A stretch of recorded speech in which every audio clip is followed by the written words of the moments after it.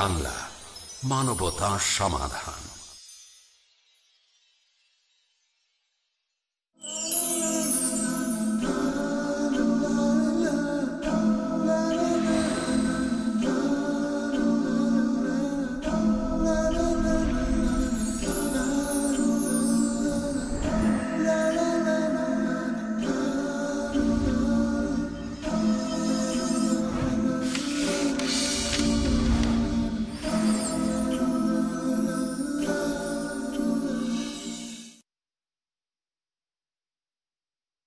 السلام عليكم ورحمة الله وبركاته. وعليكم السلام ورحمة الله وبركاته. الحمد لله رب العالمين. والصلاة والسلام على أشرف الأنبياء والمرسلين. نبينا محمد وعلى آله وصحبه أجمعين. أما بعد.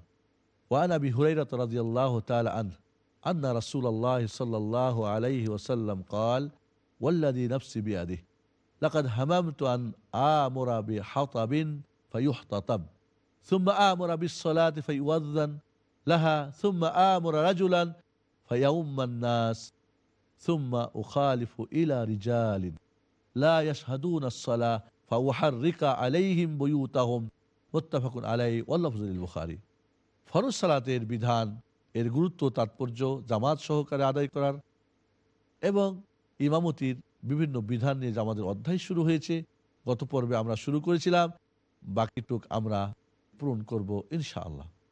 আল্লাহ নবী আলিসাল্লাম ফরজ সালাদ জামাতে আদায় করার ব্যাপারে সাতাশ বা পঁচিশ গুণের সোয়াব বেশির কথা বলেছেন, একাকে আদা করার চাইতে। এই হাদিসা আবু রাজ্লাহ থেকে বর্ণিত, তিনি বলেন, আল্লাহর নবী আল্লাহর কসম খেয়ে বললেন, ওই মহান আল্লাহর সত্যার কসম, যার হাতে আমার জীবন, লাকাদ হামাম তান আমরা ফাই ফাইহতাতাব। আল্লাহর নবী বললেন, আমার ইচ্ছা হয়েছিল যে আমি একদল মানুষকে কাঠ খড়ি জমা করার জন্যে, সংগ্রহ করার জন্য নির্দেশ করি। লাহা। এরপরে সালাত আদায় করার জন্য আজান দেওয়ার জন্য আমি নির্দেশ করি। এরপরে নির্দেশ করি একজনকে, যারা এসে গেছে, তাদেরকে নিয়ে সালাদ যেন আদা করে।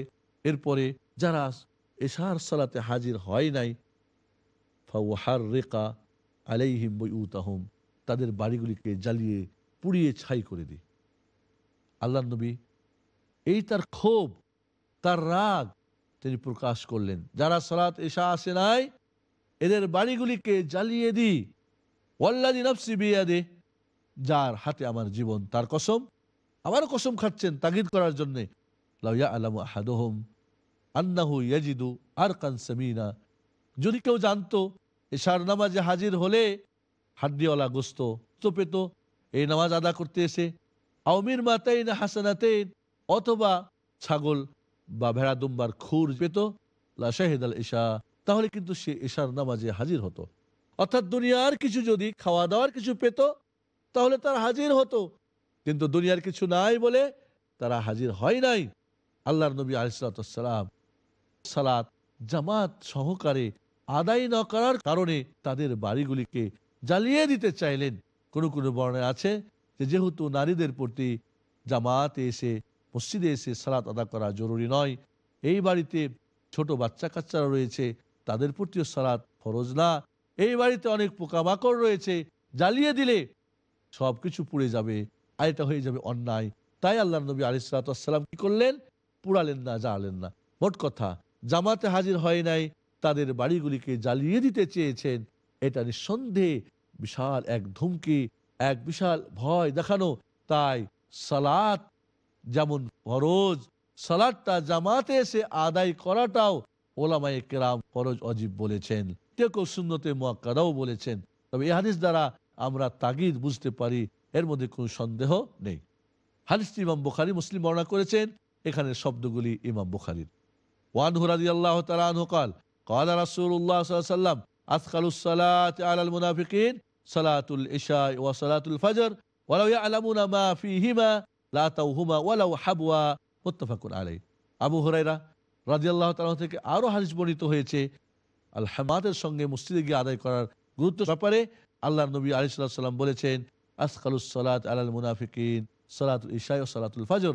মুনাফিক যারা, তাদের প্রতি এশা এবং ফজরের সালাত অত্যন্ত ভারী হয়ে যায়। এশার সময় তাদের ঘুম ধরে যায়, ঘুমিয়ে যায় আর ফজরের সময় তাদের ঘুম ভাঙে না।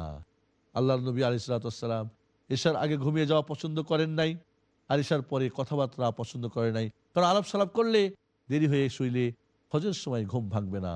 তাই মুনাফিকদের আলামতের একটি আলামত হলো কি? তাদের জন্যে ঈশার সালাত এবং ফজরের সালাদ ভারী হয়ে যায়। বলছিলাম, ঈশার সালাদ ভারী হয় কেন? ঘুম ধরে ঘুমিয়ে যায়, গুরুত্ব থাকে না, আর ফজরের সালাতে ঘুম ভাঙে না। আল্লাহ নবী বলেন ওয়ালাউয়া আলামুন আমা ফিহিমা যদি তারা জানতো এই দুই অক্ত সালাতে কি ফজিলত রয়েছে, এর কি গুরুত্ব ও তাৎপর্য রয়েছে, এটা জামাতের সঙ্গে আদায় করলে এর কতটুক ফায়দা রয়েছে? লা তাও হুমা ওয়ালাউ হাবুয়া তাহলে তারা হামাগুড়ি দিয়ে, ছোট বাচ্চারা যখন দুই হাঁটু দুই পা দিয়ে হাঁটে, এ হামাগুড়ি দিয়ে হলেও হাবুয়ার অর্থ কে বলেছে? যে পিছনের ওপরে ভর দিয়ে ছেঁচিয়ে ছেঁচিয়ে এসে হলেও সে ইশার জামাতে, ফজরের জামাতে হাজির হতো মোনাফিক যারা। এই জন্য, বন্ধুগণ, মনে রাখতে হবে, মোনাফিক তো দুই প্রকার। একটা বড় মোনাফিক, যাদের অন্তরিক ভিতরে কুফুরি, বাইরে প্রকাশ করে, আর তারা মুসলমান। বাহ্যিক সবকিছু ঠিক আছে, কিন্তু ভিতরে কুফুরি, কাফের মুশ্রিককে ভালোবাসে। এটা হলো বড় মোনাফিক। এদের জন্য বড় শাস্তি রয়েছে। আর যারা ছোট মোনাফিক, সেটা হলো কি? মুসলমান, মমিন। কিন্তু তার চলায় ফিরায় কিছু মুনাফিকি কাজ প্রকাশ পায়। কথা বললে মিথ্যা বলে, ঝগড়া করলে বাজে কথা বলে, গালিগুলাজ দেয়, ওয়াদা করলে ওয়াদা খেলাফি করে। এইগুলি ছোট মুনাফিকের আলামত। কিন্তু বড় মুনাফিক যারা, এটা মারাত্মক। ইন্নাল মুনাফিকিন আফিদ্দারকিল যারা বড় মুনাফিক, তাদের জাহান্নামের সবচেয়ে নিচু স্থান হবে। এই জন্যে বাইরে একটা, ভিতরে একটা ইমানের ক্ষেত্রে অথবা আমলের ক্ষেত্রে বলার ক্ষেত্রে এগুলির জন্য আমরা খেয়াল রাখি। ছোট মুনাফিকের যে আলামত, সেগুলো থেকে আমরা যেন বিরত থাকি এটা আমাদের করণীয় হবে আমাদের দায়িত্ব হবে এই হাদিসটি ইমাম বুখারি এবং মুসলিম বর্ণনা করেছেন ওয়ান হুকাল আতান নবী সাল্লাহ সাল্লাম রাজুলুন আমা ফকাল ইয়া রাসূলুল্লাহ ইন্নাহু লাইসা লি কায়েদ يقودني إلى المسجد فرخص له فلما ولى دعا فقال هل تسمع النداء بالصلاة قال نعم قال فأجب রাহ মুসলিম আবু হরিরা রাদিয়াল্লাহু তাআলা থেকে আরো বর্ণিত হয়েছে একজন অন্ধ মানুষ আল্লাহ রাসূলের কাছে এসে হাজির হয়ে বললেন, ইয়া রাসূলুল্লাহ, আমাকে মসজিদ পর্যন্ত ধরে ধরে টেনে টেনে পৌঁছাবে, এই ধরনের আমার কেউ নাই। আমার জন্য কি জামাতে হাজির না হয়ে, মসজিদে হাজির না হয়ে বাড়িতে সালাত আদায় করা জায়েজ আছে রোকসাত আছে, অনুমতি আছে? আল্লাহ নবী ফারাক্ষা সালাহ আল্লাহ নবী তাকে অনুমতি দিয়ে দিলেন, যাও, তুমি অন্ধ মানুষ, যেহেতু তোমাকে কেউ মসজিদে নিয়ে আসার মতো নেই ধরে তাহলে তুমি বাড়িতেই সালাত আদা করবে। ফালাম্মা ওয়াল্লা দা এই লোকটি অন্ধ ব্যক্তি এবার অনুমতি পেয়ে এবার বাড়ির দিকে ফিরে যাচ্ছেন। ওই লোকটিকে আল্লাহ নবী ডেকে বললেন, ফাকাল হাল তাসমা উন্নিদা বিসলা তুমি কি সলাতের আজান শুনতে পাও? বললেন, কালা না। বললেন হ্যাঁ আজান তো শুনতে পাই। চোখে দেখতে না পেরে কান তো ঠিক আছে।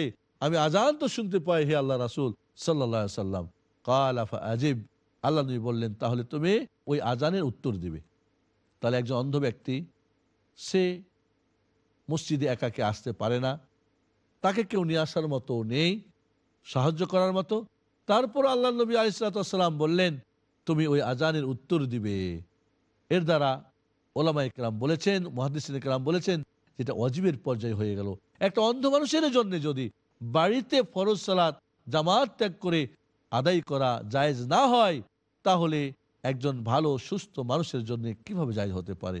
বিনা ওজরে, বিনা কোনো কারণে, শরীয়তের কোনো ওজোর ছাড়া, মসজিদ ছাড়া, বাড়িতে সালাত আদায় করা তা মোটেই উচিত হবে না, এটা আমাদেরকে মনে রাখতে হবে।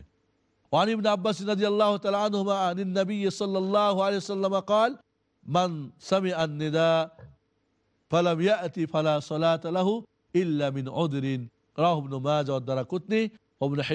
হাকিম ওয়েসনাদহু মুসলিম লাকিন রাজ্জাহাবাদহু আব্বাস রাজি আল্লাহ তালা থেকে বর্ণিত।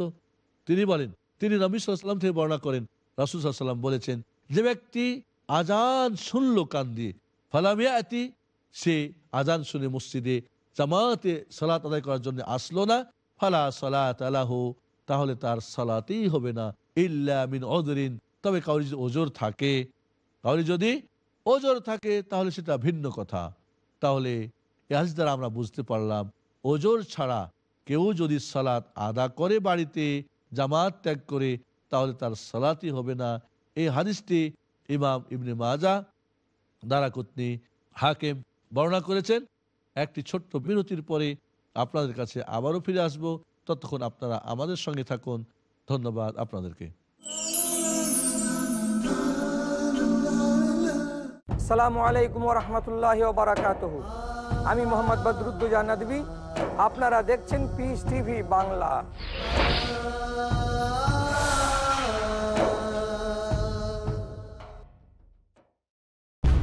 কোরআন একটা চূড়ান্ত বার্তা। মহাবিশ্বের মহাবিশ্বয় মহাগ্রন্থ আল কোরআন দিয়ে আমাদের হেদায়েতের ব্যবস্থা করেছেন। Quran will remain as the most modern book ever. এমন এক কিতাব, যেই কিতাব দিয়ে মানুষের সব সমস্যার সমাধান করা যায় সমাজের মধ্যে। আল্লাহ তাআলা কোরআনকে রাখবেনই। কোরআন শুধুমাত্র মুমিনদের সম্পদ নয়, কোরআন হচ্ছে বিশ্ব মানবতার মহান সম্পদ। দেখুন শাইখ আব্দুর রহমান মাদানির সাথে আসুন কোরআন দিয়ে জীবন গড়ি। কাল রাত এগারোটায় বাংলাদেশে ও রাত সাড়ে দশটায় ভারতে পিস টিভি বাংলায়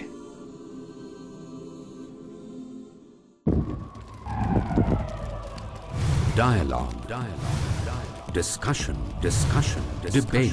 Debate. Debate. Rebuttal. Rebuttal. Conclusion. Conclusion. eliminate misconceptions about religion. Get enlightened. Witness Dr. Zakir Naik in a battle of words. দেখুন সম্মুখ সমরে প্রতি বৃহস্পতিবার রাত নটায় বাংলাদেশে ও রাত সাড়ে আটটায় ভারতে বিস টিভি বাংলায়। পুরস্কার। যে ব্যক্তি তাগুতকে অস্বীকার করল।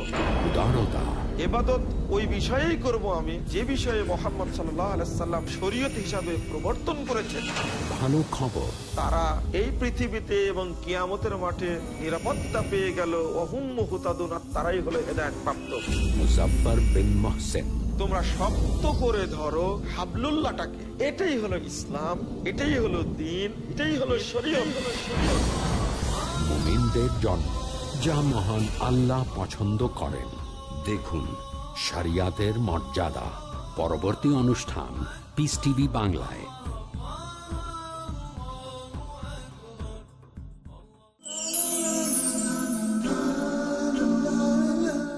আসসালামু আলাইকুম আরহামতুল্লাহ বারাকাত ওয়ালাইকুম আসসালাম রহমতুল্লাহ বরকাত ছোট্ট একটি বিরতির পরে শ্রদ্ধেয় দর্শক শ্রোতা আমরা আবারও ফিরে এসেছি দার্সে হাদিসের বাকি অংশ পূর্ণ করার জন্যে। ওজোর ছাড়া কেউ যদি পুরুষ মানুষ সালাত আদা করার জন্যে মসজিদে গিয়ে জামাতে না আদা করে, তাহলে তার সালাত হবে না। এ কথা এ হাদিস দ্বারা আমরা বুঝতে পারলাম। নিঃসন্দেহে ওজোর ছাড়া ফরজ নামাজ, মসজিদে গিয়ে আদা না করা আর এই বিরাট অঙ্কের সব থেকে বঞ্চিত হয়ে যাওয়া, এটা একজন মুসাল্লির জন্যে, একজন মমিনের জন্যে, এটা কি কখনো শোভা পায়? তাই আমরা এই সালাদকে গুরুত্ব দিব। ফরজ সালাদকে জামাতের সঙ্গে আদায় করা আমরা চেষ্টা করব। এমনও মনে রাখবেন, যারা মোনাফেক ছিল, তারাও কিন্তু সালাদ পাঁচক্ত রাসুলের সঙ্গে মসজিদে আদা করত।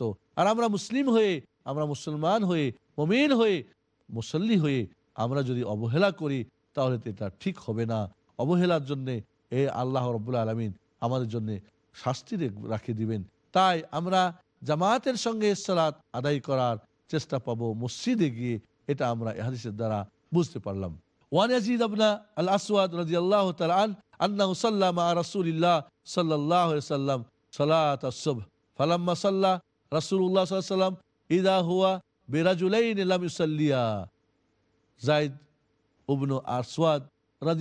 থেকে বর্ণিত।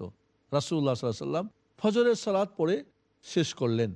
এই সময় দেখলেন দুইটি মানুষ নামাজ না পড়ে দাঁড়িয়ে আছে পিছনে। ফাদা বিহিমা আল্লাহ নবী ওই দুইটি লোককে ডাকলেন যে, আসো, ওদেরকে ডেকে নিয়ে আসো। ফাজিয়া বিহিমা, তাদের দুইজনকে নিয়ে আসা হলো। তখন তাদের হাতগুলি ভয়ে কাঁপতেছিল আল্লাহ নবী ডাকলেন, এই এদিকে আসো। তারা দুইজন রাসুল সাল্লামের সামনে হাজির হলো, তাদেরকে নিয়ে আসা হলো। ভয়ে তাদের হাতের বাজুর গোস্তগুলি ভয়ে কাঁপতেছিল ফকার আলাহুমা রাসুল্লাহ সাল্লাম তাদের দুইজনকে বললেন, মা মানা আকুমা আন্তুসাল্লিয়া মানা কে তোমাদেরকে আমাদের সঙ্গে সালাত আদায় করতে নিষেধ করেছে? কেন তোমরা দুইজন আমাদের সঙ্গে জামাতে শরিক হয়ে সালাত আদা করলে না? কলা, তারা দুইজন বলল, কাদ সাল্লাইনা ফি রেহালিনা। আমরা দুইজন আমাদের বাড়িতে সালাত আদায় করে এসেছি। আমাদের মহল্লায়, আমাদের মহল্লার মসজিদে, বা আমাদের গ্রামের মসজিদে আমরা সালাত আদায় করেছি আর রসুল্লাহ ওই জন্য আর দ্বিতীয়বার আমরা আদা করি নাই। কল আলা তোমরা এমনটা করবে না, আল্লাহ নবী বললেন আলাই সালাতাম ইদা সাল্লাই তোমা ফি রেহালিকুমা, সুম্মা আদরাকুমা আল ইমাম তোমরা যদি তোমাদের বাড়িতে সালাত আদায় করেই নাও বা তোমাদের মাহাল্লার মসজিদে আদায় করো, এখানে বোঝা যাচ্ছে যে বাড়িতে সালাত আদায় করেছে। এরপরে তোমরা আসো, এসে দেখো তোমাদের ইমাম এখনও সালাত আদা করে নাই, তাহলে তার সঙ্গে সালাত আদা করে নাই। ফাইনাহা লাকুমানা ফেলা তাহলে এই পরের সালাদটা তোমাদের নফল সালাত হয়ে যাবে। অর্থাৎ বাড়িতে যে তোমরা আদা করেছ, ফরজ সালাত, এরপরে এসে দেখছ ইমাম এখন সালাত আদা করতেছে, তাহলে শরিক হয়ে যাও বসে সময় নষ্ট করো না।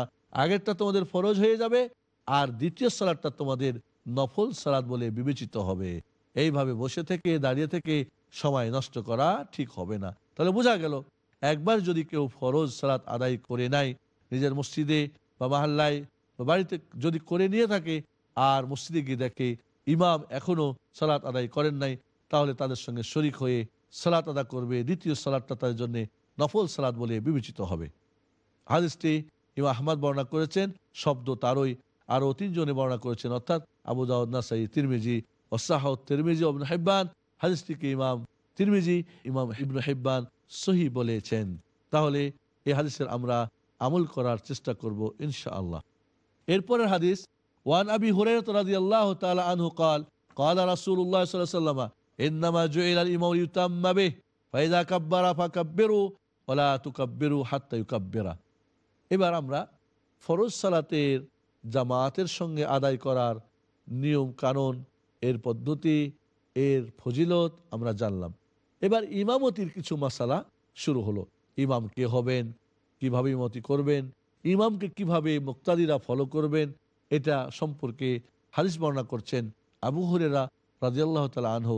তিনি বলেন রাসুল্লাহ সাল্লা সাল্লাম বলেছেন, ইন্নামা জোয়েল আল ইমাম ইউতাম্মাবে ইমাম নিয়োগ করা হয়েছে ইমাম ব্যবস্থা করা হয়েছে শরীয়তে মোহাম্মদীতে, যাতে করে মুক্তাদিরা তাকে ফলো করে, অনুসরণ করে, অনুকরণ করে। ইমাম যা করবে, মুক্তাদিরা তাই করবে। আল্লাহ নবী আলিসাল্লাম বলেন, ফাইদা কাব্বারা ফাকাব্বিরু।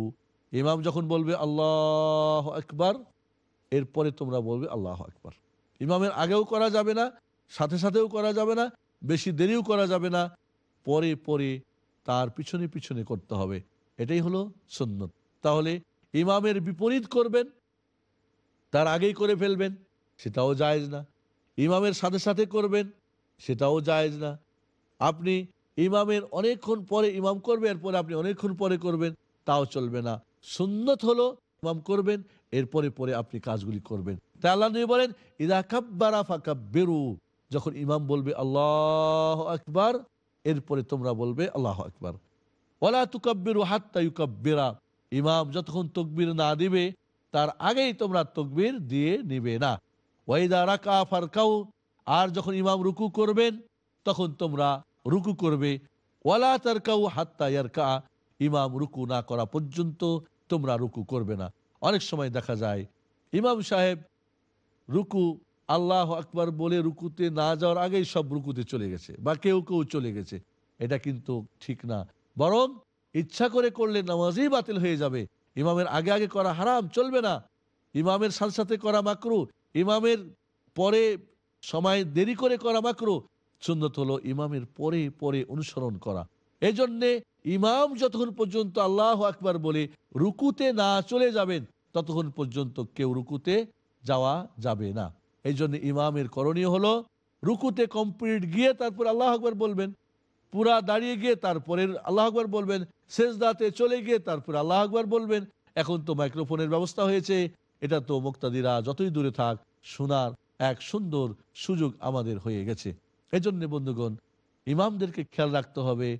ভুল করে হোক আর ইচ্ছা যে করে হোক, মুক্তাদিরা যাতে করে ইমামের আগে কোনো কাজ করার সুযোগ না পায়। এই জন্য অনেক সময় হয়তো বুড়ো ইমাম, স্বাস্থ্য ভারী।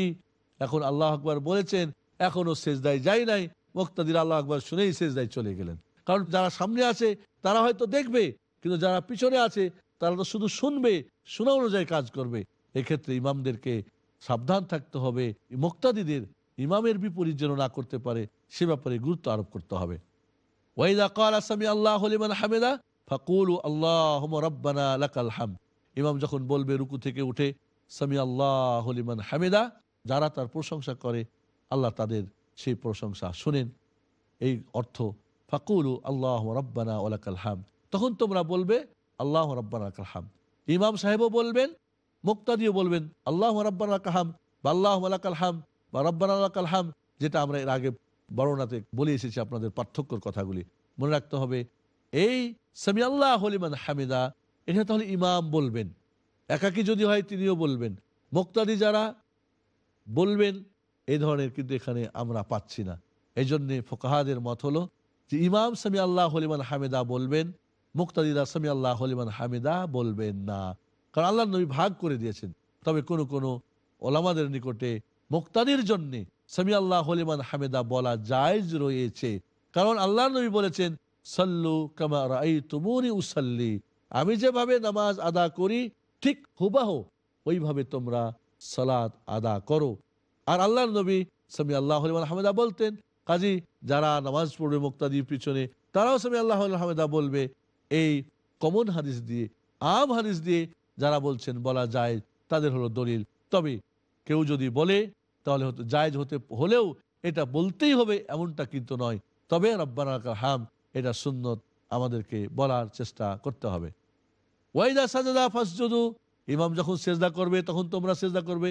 এই যে ফাসজুদু, এই ফাটাকে বলে ফা তাকে মানে পরে। ইমামের সেজদা হয়ে গেলে তারপরে সেজদায় যাবে।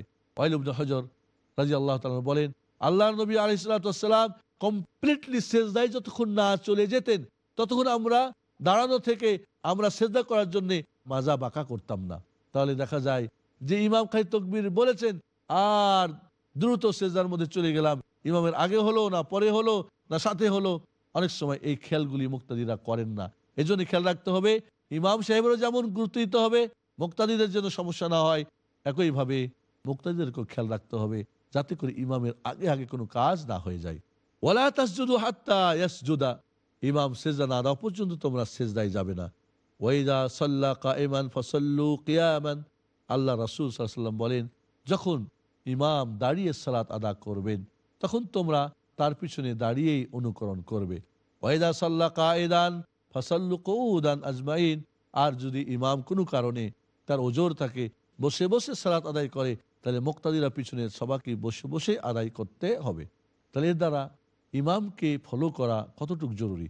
ইমাম অসুস্থ, বসে সালাত আদায় করছেন, আমাদেরকে পিছন থেকে তার একতেদা দাঁড়িয়ে করা যাবে না, বসেই করতে হবে।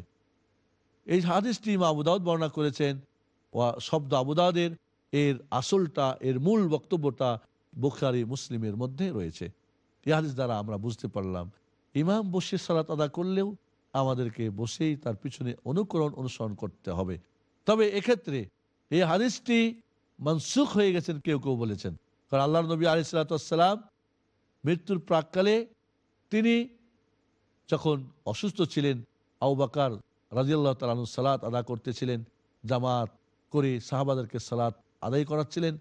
এমন মুহূর্তে আল্লাহ নবী আলি সালাতামের একটু ভালো লাগল। তিনি ঘর থেকে বের হয়েছে। আউবাকার যেন বাম দিকে বসে গেলেন। আউবাকার আল্লাহ রাসুলকে ফলো করলেন আর মুক্তাদিগুন সাহাবা একরাম আউবাকারকে ফলো করলেন।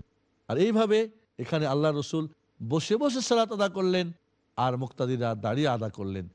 কেউ কেউ বলেছেন, মহাদিসিনরা, যে এই রাসুলের শেষ জমানার আমলটা প্রমাণিত হলো এই হাদিসে যে বলেছেন, ইমাম দাঁড়িয়ে পড়লে তোমরা দাঁড়িয়ে আর বসে গেলে বসে। তাহলে এই বিধানটা রহিত হয়ে গেছে রাসুলের শেষ আমল দ্বারা। ইমামের আগে আগে আমরা যেমন করব না, সাথে সাথেও করব না, দেরি করেও করব না, ইমামের পরে পরে প্রতিটি কাজ আমরা করব। এটাই হবে সুন্নত সম্মত কাজ। ওয়ান আবি সাইদ খুদি আল্লাহ তালু আন্না রাসুল আল্লাহ সাল্লাম রাফি আসহাবিহি তাখুরা আবু সাইদ খুদরি রাজি আল্লাহ তালা থেকে বর্ণিত। তিনি বলেন আল্লাহর নবী আলিসাল্লাম সাহাবা ইকরামকে দেখলে তারা পিছনে আছেন। ফকালা তাকাদ্দামু। আল্লাহর নবী আলিসাল্লাম দেখলেন সাহাবা ইকরাম পিছিয়ে আসে বললেন, তোমরা সামনে এগিয়ে আসো। হ্যাঁ ফাতাম্মুবি আমাকে তোমরা ফলো করো। ওয়ালিয়া তাম্মা বিকুম মাম্বা আদাকুম আর তোমাদের পিছনে যারা, তারা তা তোমাদেরকে ফলো করবে। কাজে ইমাম থেকে অনেক দূরে লাইনবদ্ধ করা তাহলে ঠিক না। যেখানে সেজদা করা যায় একটুক জায়গা রেখে দাঁড়াবে আর সোজা হয়ে দাঁড়াবে। এদেরকে তাদের পরেররা ফলো করবে পরের লাইনগুলি। এই হাদিসটি মুসলিম শরীফের বর্ণিত হয়েছে। তাহলে লাইন সোজা করে ইমাম থেকে বেশি দূরে না, প্রয়োজন অটুক রেখে দাঁড়ানো দরকার। আমাদের এর পর্বের সময় শেষ হয়ে গেছে। ও আখের দাওয়ানা আলহামদুলিল্লাহ রব্বিল আলমিন।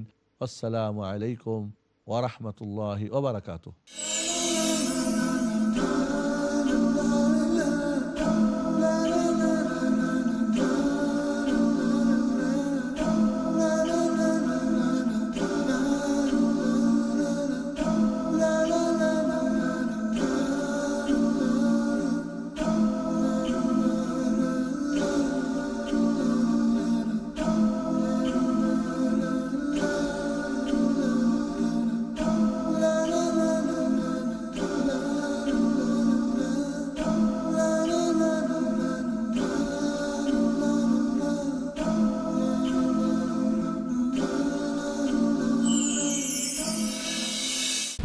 শেখ আব্দুর রাজাক কালের কসম নিশ্চয় মানুষ ক্ষতির মধ্যে নিমজ্জিত।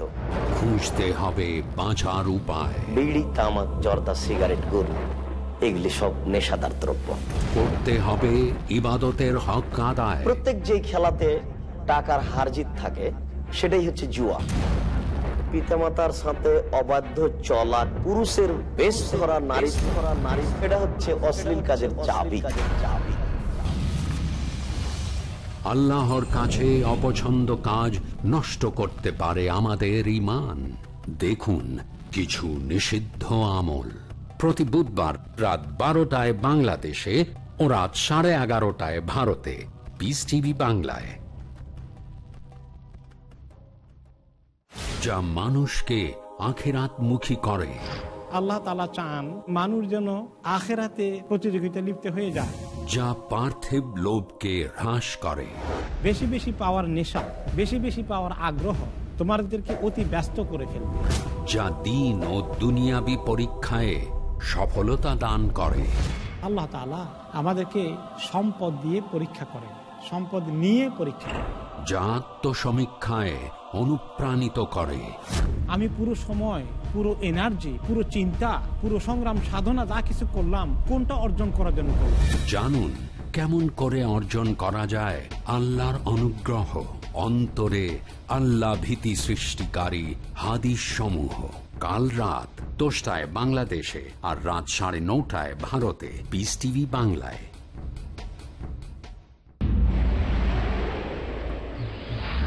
জাকিরের আন্তরিক বার্তা। মহান আল্লাহর সর্বশেষ টেস্টামেন্ট এটি মানবজাতির প্রতি আহ্বান, দয়া এবং জ্ঞানের ঝর্ণাধারা, বিপদগামীদের পথপ্রদর্শক, অসচেতনের প্রতি সতর্ক, যারা সন্দিহান তাদের জন্য নিশ্চয়তা, দুঃখীদের জন্য সমাধান, যারা হতাশ তাদের জন্য আশা। আল কোরআন, এই পৃথিবীর বুকে সবচেয়ে পজিটিভ বই। আল্লাহর পক্ষ হতে মানুষের প্রতি চূড়ান্ত বার্তা। চলুন এটা পড়ি বুঝি এবং অনুসরণ করি। বাংলা মানবতার সমাধান